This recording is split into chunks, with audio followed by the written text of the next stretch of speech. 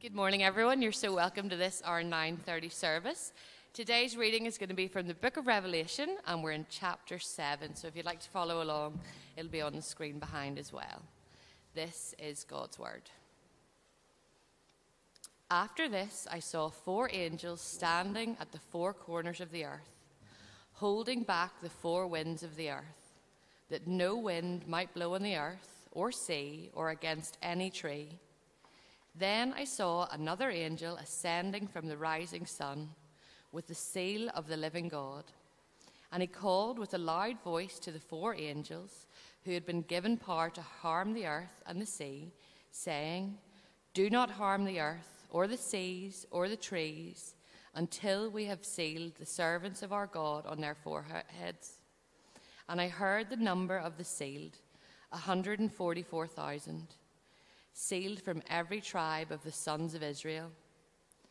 12,000 from the tribe of Judah were sealed, 12,000 from the tribe of Reuben, 12,000 from the tribe of Gad, 12,000 from the tribe of Asher, 12,000 from the tribe of Naphtali, 12,000 from the tribe of Manasseh, 12,000 from the tribe of Simeon, 12,000 from the tribe of Levi, 12,000 from the tribe of Issachar, 12,000 from the tribe of Zebulun, 12,000 from the tribe of Joseph, 12,000 from the tribe of Benjamin were sealed.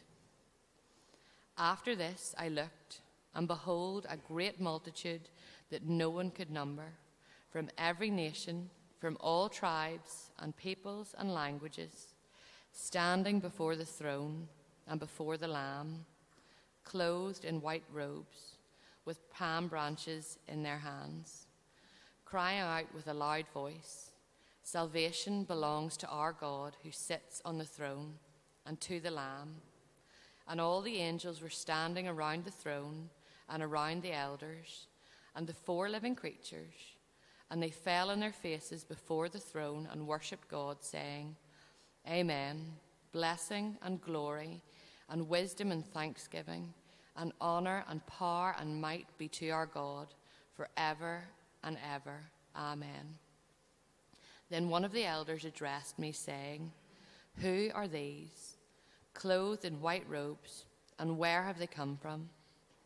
I said to him, Sir, you know. And he said to me, These are the ones coming out of the great tribulation.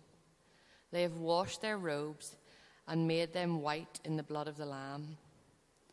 Therefore, they are before the throne of God and serve him day and night in his temple. And he who sits on the throne will shelter them with his presence. They shall hunger no more, neither thirst any more. The sun shall not strike them, nor any scorching heat. For the Lamb in the midst of the throne will be their shepherd, and he will guide them to springs of living water and God will wipe away every tear from their eyes. Let's pray. Our Heavenly Father, Lord, we thank you for the blessing that this book has been so far. Father, I thank you for the passage today, Lord, for the encouragement for those who are in Christ. Lord, that you are seated on the throne, Father. That, Lord, you have a plan for all eternity, and God, that you're bringing that to bear here on earth. Father, thank you that salvation is in Jesus' name alone. God, I thank you for the sacrifice he made on the cross for the sins that we commit daily. I just pray now, Lord, for John as he comes to teach once more. Father, that you would just anoint him with your spirit. Pour out your spirit on this room and this building here today, Lord. Let us see with fresh eyes, God, the, the glories of your word and and the goodness of your grace. Pray for those who are in Christ, Lord, that this would be an encouragement. And I pray for those who are yet to come to know Jesus as their Savior, Lord, that today that they would hear this call.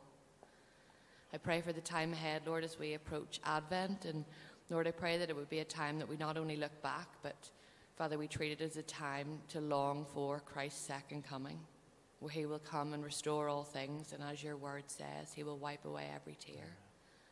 Lord, pray for our kids' leaders and, and the children in their rooms here today. God, that Jesus would be proclaimed and, and his gospel message would be heard. And we just thank you for the work that you're doing in and through this church, Lord, and just continue to grow and, and, um, and, and draw others from our community and, and help us to go out and serve those who have a greater need than us. And Lord, we just pray this all in Jesus' name. Amen. Amen. Thanks, Steph. Good morning, everyone. Again. Uh, today we are in Revelation 7. Revelation 7. Jesus said in John 16, verse 33, In this life, you will have trouble. You will have.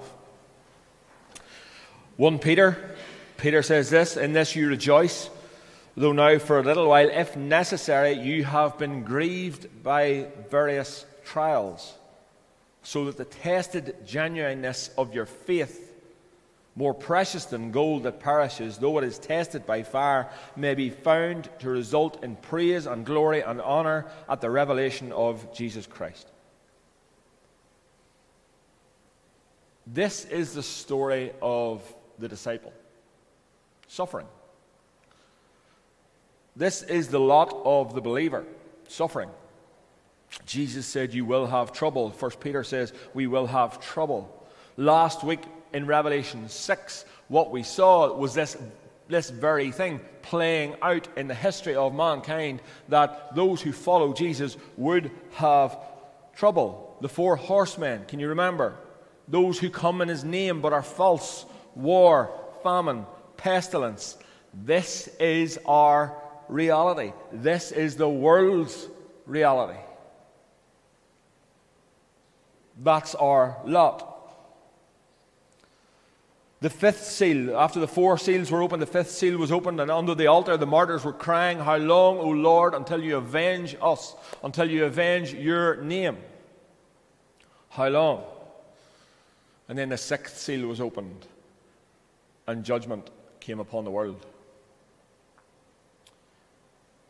What we have today is a very interesting passage.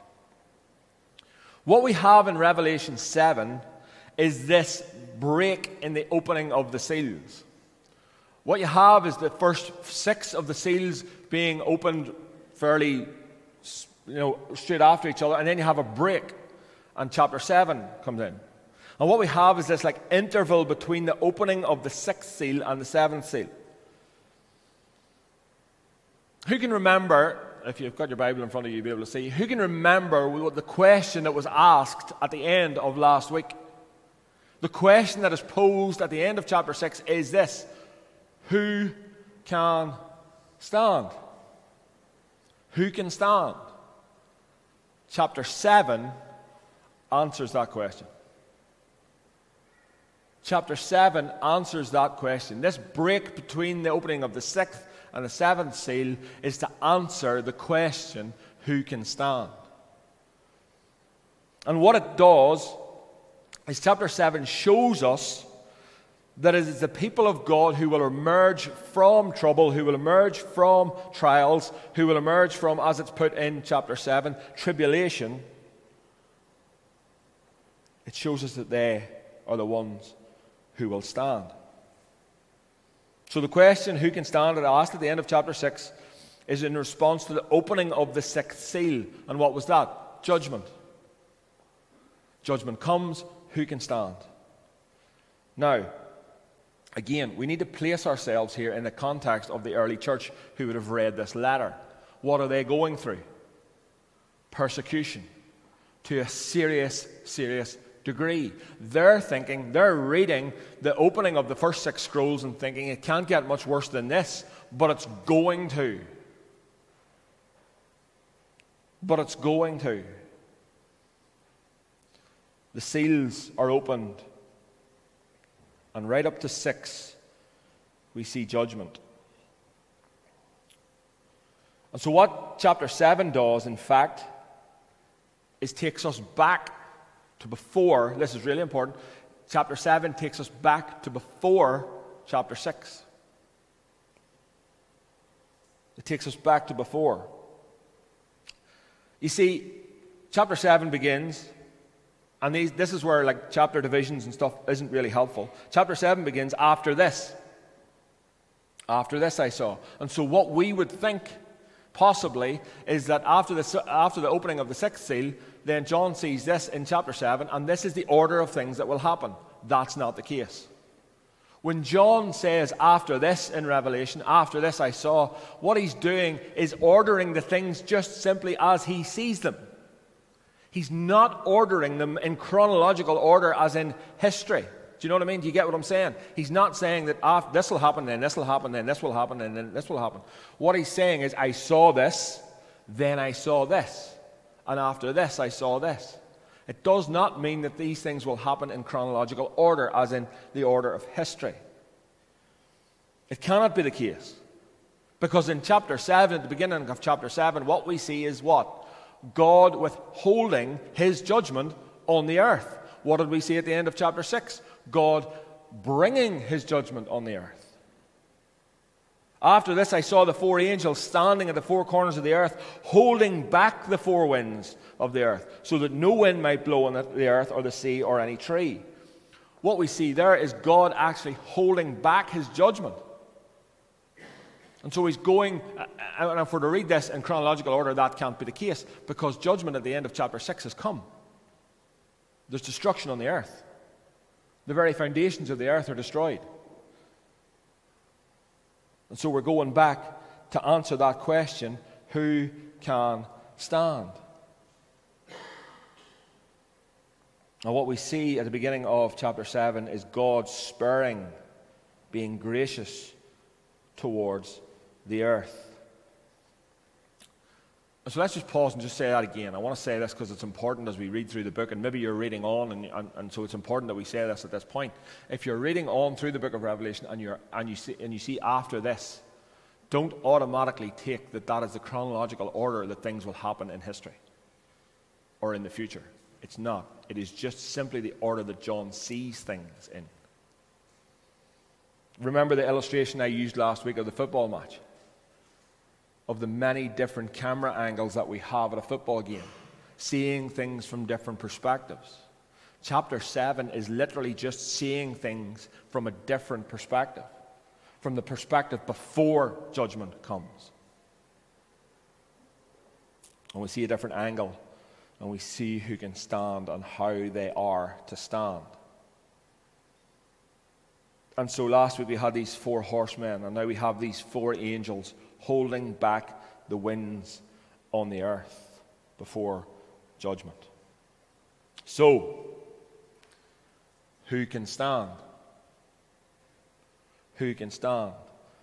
Chapter 7 is this telling of the story of things to come, and yet it tells the same story from different angles. As I say, winds instead of horsemen. The wind is not to blow on the earth, on the land, on the sea, or on any tree. So, who can stand? This is the question that chapter 7 seeks to answer. And it seeks to answer it Again, remember the context. Remember the church. Remember the church that is listening to this. They are being persecuted. They are being beaten. They are being killed. They are being martyred for the sake of Christ. And this chapter 7 seeks to answer the question who can stand in a way that will bring most encouragement to the people of God. Imagine getting this letter. This is what we have to do every time we come to this letter. We have to put ourselves in the place of the early church and remember who is receiving the letter and read it through their lens.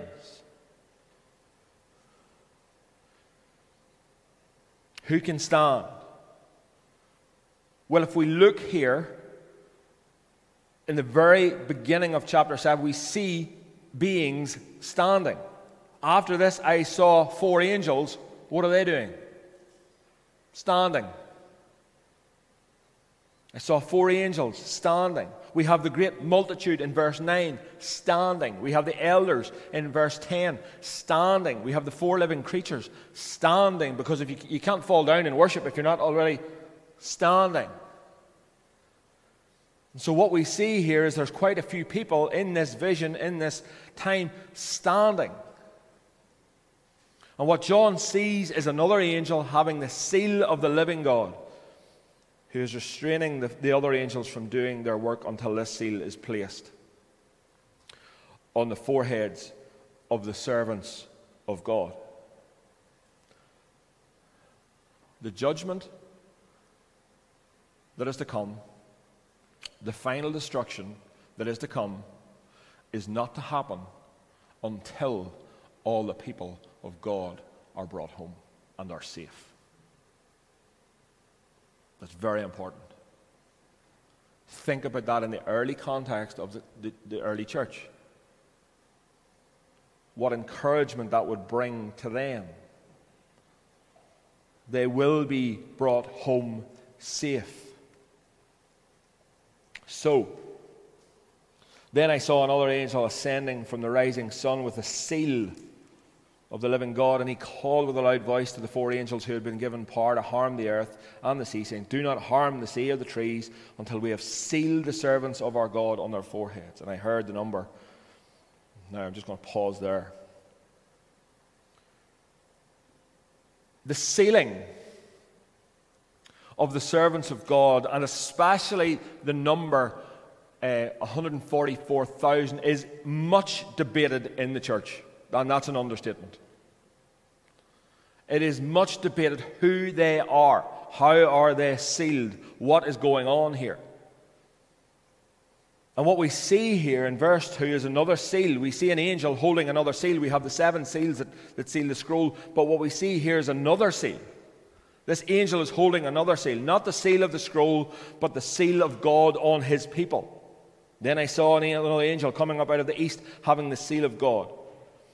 One commentator puts it like this If the unsealings of chapter 6, which were the four horsemen and the martyrs and the judgment, if the four unsealings of chapter 6 had shown in history in all its terrifying prospects, the seal spoken of here has a different connotation.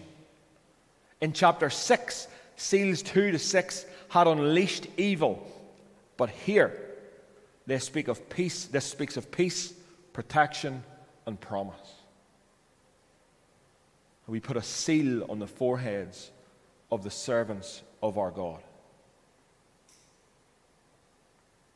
It's interesting that in the book of Ezekiel, it describes a similar event whereby an angel is given responsibility to identify the people of God,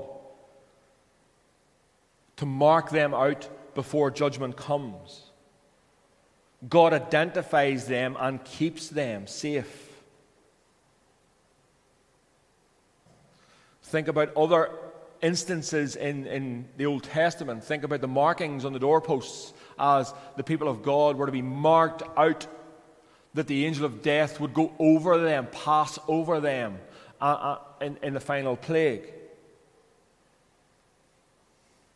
You see, the reality of God's sealing on his people is this. And the reality of God's sealing on his people in the first early church and the churches that this was written to is this the sealing of this people does not take them out of trouble.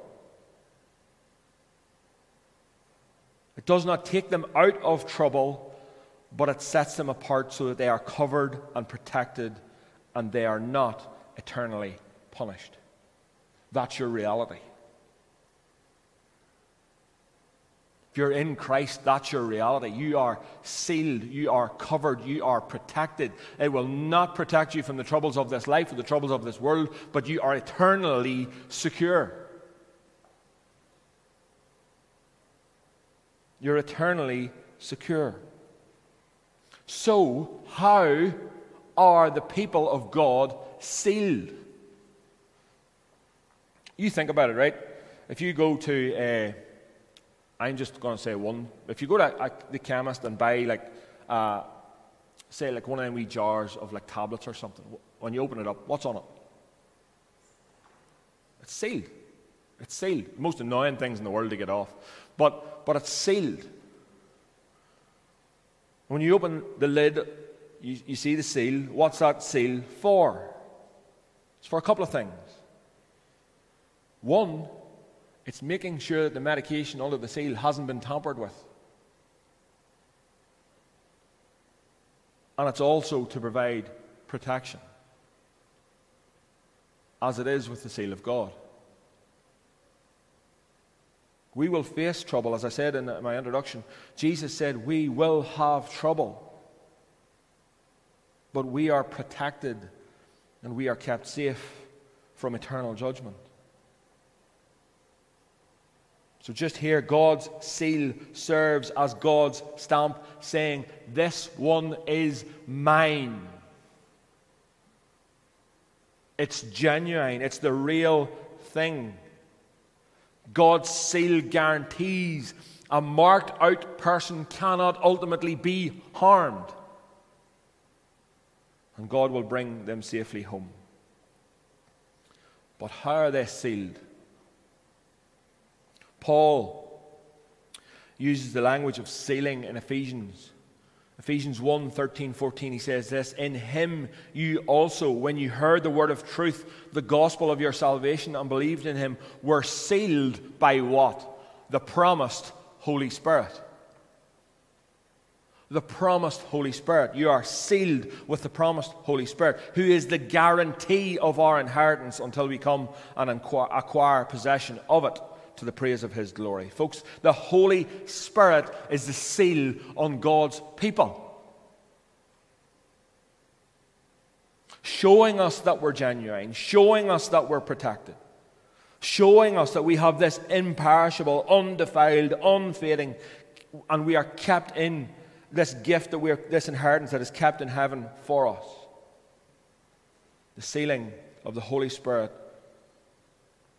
is for every believer. Nancy Guthrie, in her book, a brilliant wee book on, on Revelation, says this These servants of God are marked by the blood of the Lamb so that they do not face the wrath of the Lamb. Hallelujah. So, this is how the people of God are sealed. They are sealed by the Holy Spirit. They are sealed by the Holy Spirit. Right. Now we're going to get into dangerous territory. This is the controversial bit of today. All right? But who are the people of God that are talked about in Revelation chapter 7? Again, there is much debate. This is probably one of the most debated chapters in Revelation. Now, if you read, do you remember we talked about the way to read Revelation? There's ways to read Revelation. One of them is to read it literally, and that would be a more futurist view. Uh, one is to read it ap- apocalyptically and metaphorically, which we look at the symbols and we look at the, the metaphors that are used and, and, we, and we read it like that. If you read this literally and don't take into consideration several other things, you read the number here, 144,000, and you read the 12 12s as literal Jews who will be redeemed before the end. And I understand why some people would, would do that. I get it. I see it. So, John, hearing this expression, but, but John, think about this now. Think, we need to think through this. Hearing this expression, about sealing, God's people being sealed, he must expect that, that the sealed of God would be all of God's people.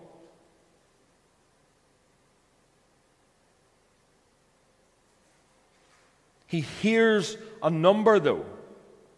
And I heard a number of the sealed, 144,000, sealed from every tribe of the sons of Israel. Note this is really important. John hears that number, he does not see anything at this point. That's important. He hears the number 144,000. He does not see anything at this point. Right. Then he breaks the 144,000 down into 12 thousands from each of the 12 tribes. But if you're eagle eyed, you will notice something about the 12 tribes. Two of them, two of the original 12 tribes of Israel, aren't there. They're not there. He leaves out the tribe of Dan and he leaves out Ephraim, while including Joseph, Ephraim's father, and Manasseh, Joseph's brother. Now, if we go back to the first service in Revelation, you will remember that I talked about numbers being deeply symbolic in the book of Revelation. So, my perspective on this is this it is impossible to interpret 7, 4 to 8 literally, for, cause, because verse 4 contradicts verse 5 and verse 8. If 144,000 are from every tribe, surely there must have been some from Dan. Surely there must have been some from Ephraim, but they are left out. Nowhere, nowhere else in the scriptures is the 12 tribes listed in this way. Nowhere else. Also, nowhere else in the whole of Scripture does Judah come first in the 12 tribes. Look at it there 12,000. This is the first thing that he hears 12,000 from the tribe of Judah.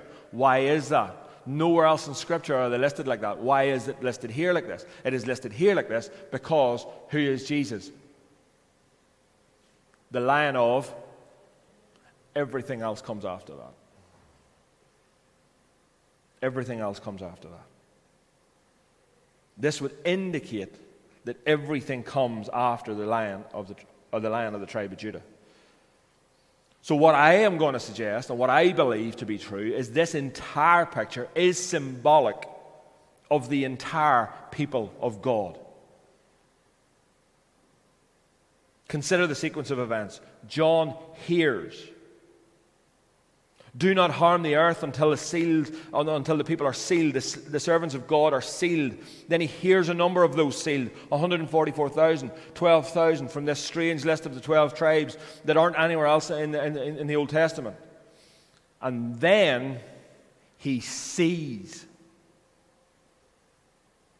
He hears this number, he hears this list, and then he sees with his eyes who? After this I looked, and behold, a great multitude that no one could number. From where? Every nation. From all tribes, all peoples, all languages, standing before the throne and the Lamb, clothed in white, in, in white robes.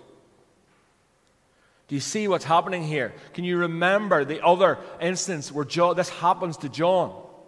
Where he, where he hears one thing and he sees something else. Remember in the throne room scene where he hears, Behold the lion of Judah. What does he see? The lamb who was slain. He hears one thing, but he sees something else. It is deeply, deeply symbolic. And so what he see, what he hears here is a number of the, of the 12 tribes, but what he sees is the great multitude from every tribe and every tongue and every nation. All the servants of God.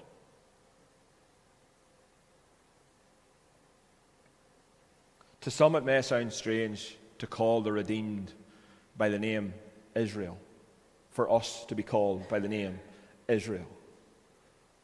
But as we see earlier in Revelation, pictures and promises made to Abraham and to Israel are seen as fulfilled through all of God's people, through all of the redeemed.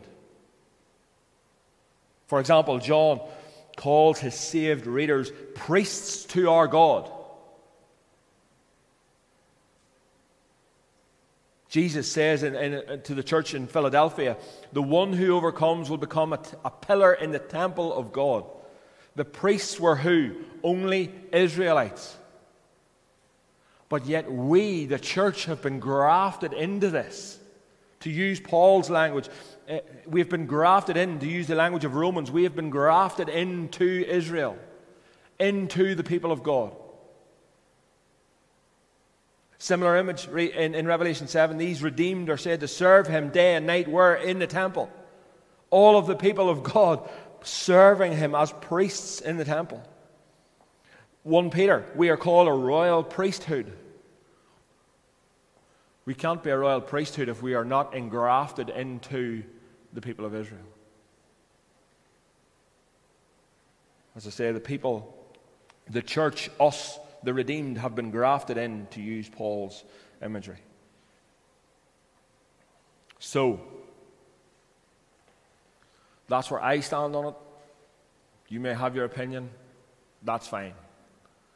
Where I see this is this being deeply symbolic of all of the redeemed for all of time being sealed by the promised Holy Spirit of God. And who, who are the ones who can stand?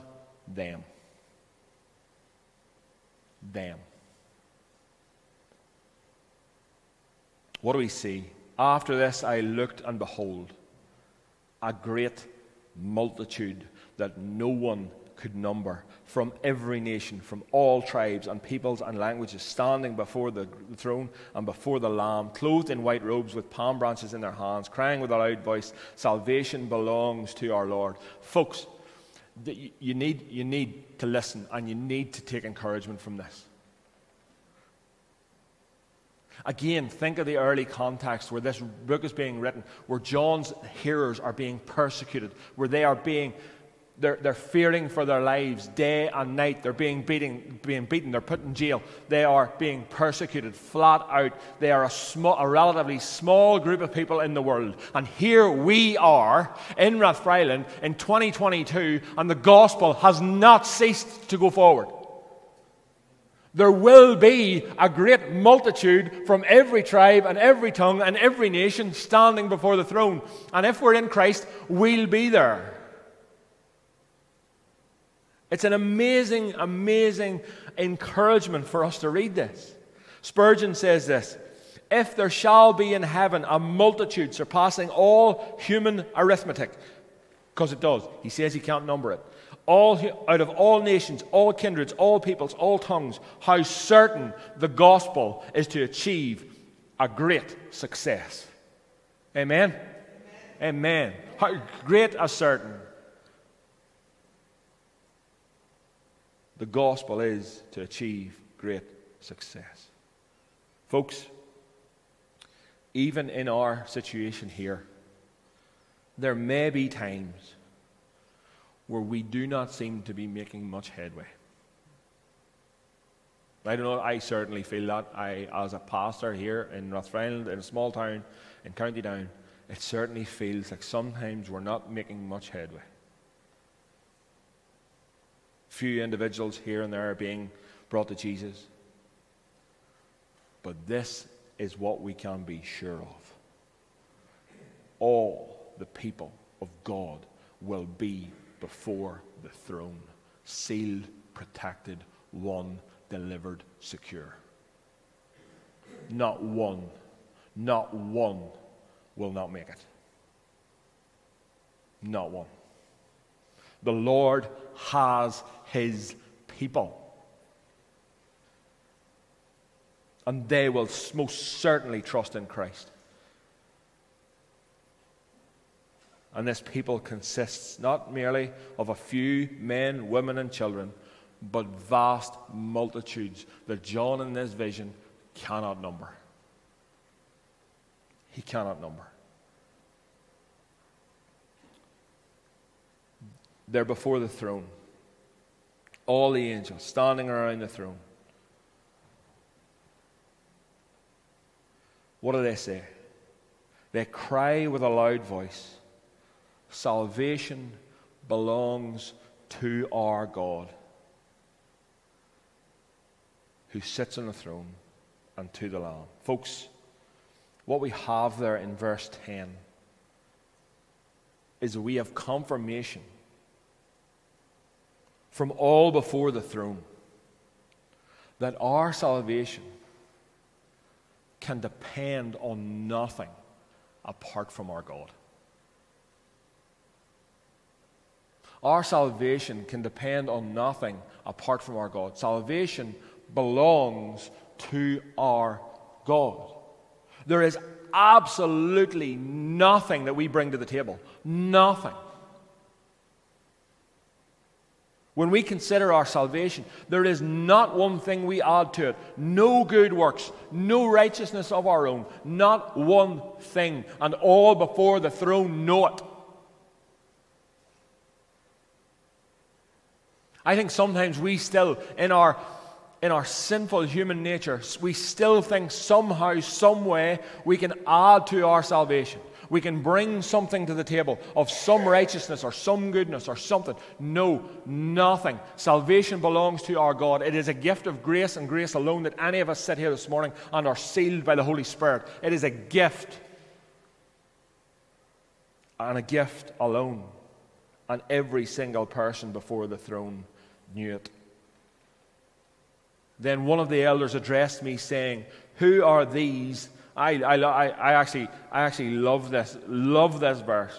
Then one of the elders addressed me, saying, Who are these clothed in white robes, and, where, and from where have they come?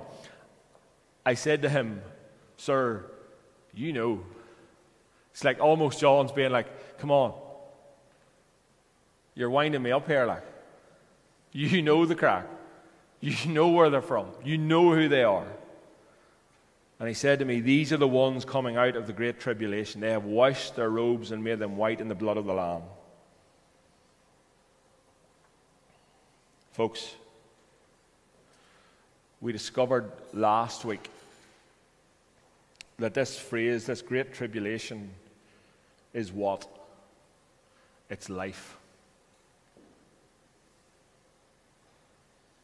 Those who will come in his name but cannot deliver war, famine, pestilence. The only ones who will survive it are those who have washed their robes in the blood of the Lamb. The only way to be saved from the tribulation is to make our robes white through his blood. And if the only way to be saved from the great tribulation is to make our robes white through the blood of the Lamb, who has made their robes white through the blood of the Lamb in here? Us, believers, Christians, those who follow Christ Jesus. That, that is us. So if that's us and we have done this, then surely we are in the great tribulation. Yes? You, you get my logic?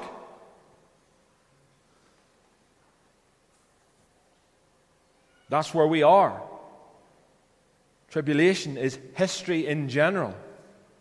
Where there is suffering and sin and war, we're in it. And how can we be saved in it? By having our robes washed through the blood of the Lamb.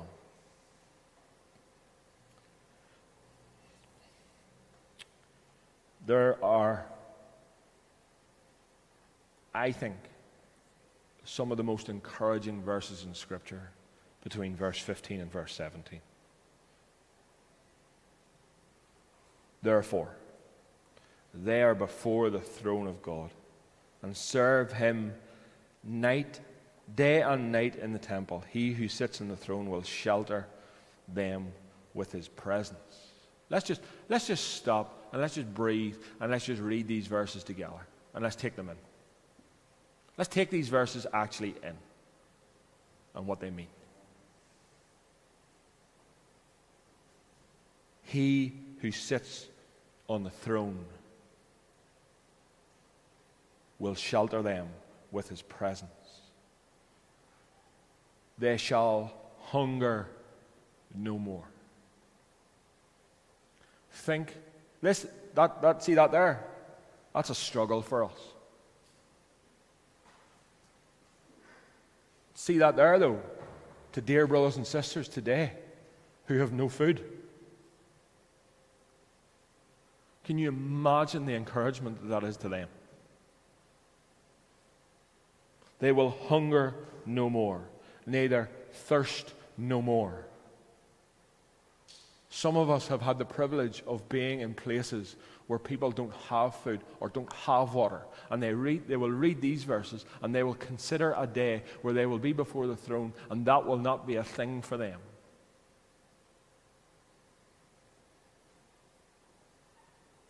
The sun shall not strike them, nor any scorching heat. For the Lamb in the midst of their throne will be their shepherd. Connotations of Psalm 23. And he will guide them to springs of living water. And possibly the most encouraging verse, or the most encouraging part of this verse, is this next part. And God will wipe away every tear from their eyes. Jesus said, In this life, we will have trouble.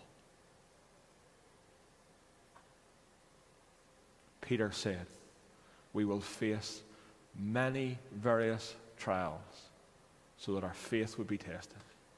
And here's the thing we will cry. We will cry. And we will lose. And we will suffer. But there's a day coming where we will stand before the King of Kings, the Lord of Lords, the one who took the nails for us, and he himself will wipe away our tears. I don't know about you, but I am looking forward to that day. Praise Jesus. We all know of people who suffer a great, ex- a great deal. We suffer ourselves. The greatest news, the greatest news that those people could receive is the gospel of Jesus Christ. To know that one day all of that will be gone. For the atheist, there is no hope. No hope just suffering and death. For the follower of Christ, we have the ultimate hope that every wrong will be righted. Everything that is wrong now will be right in, in glory, and He will wipe away our tears. Folks, I want to finish by asking you a question this morning as we go into communion. And it's this. If I take us back to the promised seal of God, what is it? How are we sealed? The Holy, the Holy Spirit. I want us to all to ask our, ourselves a question this morning before we go in, before we go near this table. Uh, it's this if you are sealed by the promised Holy Spirit, there will be evidence of such. There will be evidence of such. There will be evidence in your life of the sealing of the Holy Spirit. What, are the, what is the evidence of that?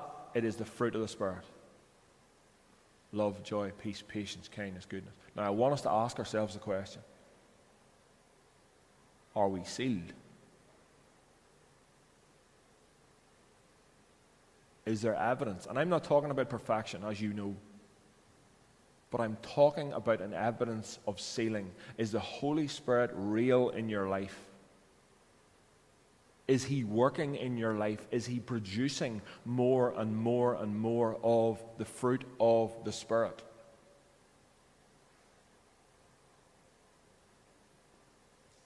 If not,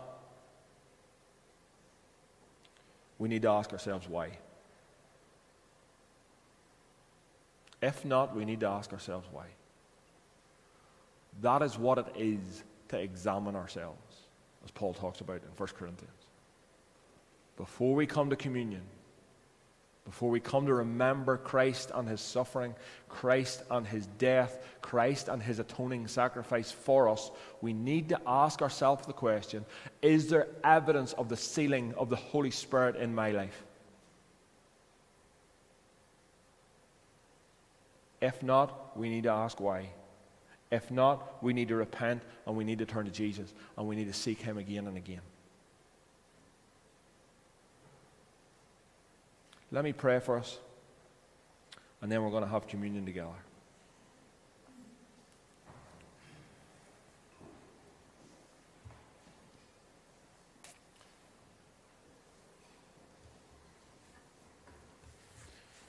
Father, we thank you that you have a people for yourself.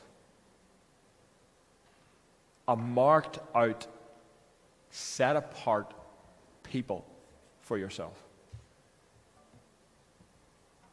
The marking of the Holy Spirit. Father, I pray for us. I pray that we would be a people